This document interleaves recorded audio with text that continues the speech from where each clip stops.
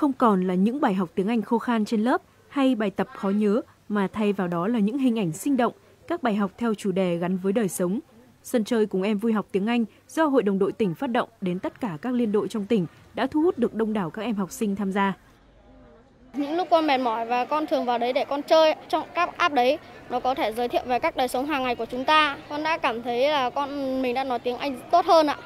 Em thấy ờ, phần thi ở trên đấy thì ờ, bổ ích ạ. Nó giúp em nâng cao luyện viết, luyện đọc, luyện nghe. Để tham gia cuộc thi thì chúng tôi sẽ thường xuyên sát sao ờ, đôn đốc các em để các em sẽ thi tốt trong từng tuần để đạt kết quả tốt nhất ạ. Tham gia sân chơi, các thí sinh sẽ được học 6 khóa học theo 3 cấp độ. Mỗi khóa học có các bài học theo từng chủ đề. Với mỗi chủ đề có 5 bài học: luyện đọc, luyện nghe, học từ vựng, luyện viết từ và luyện viết câu. Thí sinh hoàn thành hết một chủ đề sẽ được tặng một sticker. Thí sinh nhận được nhiều sticker, thời gian hoàn thành học tập sớm nhất sẽ xếp thứ hạng cao nhất trên bảng xếp hạng. Chính việc vừa học vừa chơi này giúp các em hào hứng, học được nhiều kiến thức hơn khi tham gia sân chơi sôi nổi này. Thứ mà ở trên lớp chúng ta chưa thể học được thì khi học online chúng ta có thể hiểu biết thêm rộng hơn.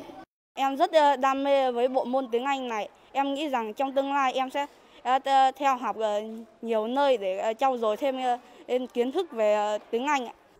Học chăm chỉ là rất tốt, nhưng không phải lúc nào cũng có hiệu quả.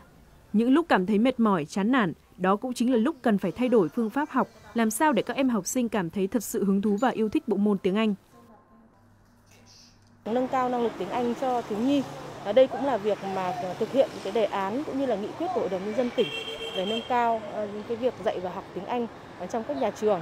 Cũng là một cái bước để mà các em tiếp cận cũng như là tạo được cái niềm yêu thích, say mê đến bộ môn tiếng Anh và tạo được cho các em đội viên thiếu nhi à, có được một cái sân chơi lành mạnh, bổ ích. Chỉ trong một tháng phát động, tổ chức sân chơi cùng em vui học tiếng Anh, thi tiếng Anh trên app của Vikid đã thu hút gần 8.000 thiếu nhi trên địa bàn tỉnh tham gia.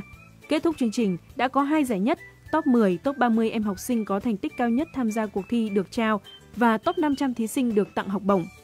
Cuộc thi được tổ chức góp phần tạo sân chơi lành mạnh, khơi dậy tinh thần học tập, rèn luyện tiếng Anh, niềm yêu thích tiếng Anh cho các em thiếu nhi trên địa bàn tỉnh.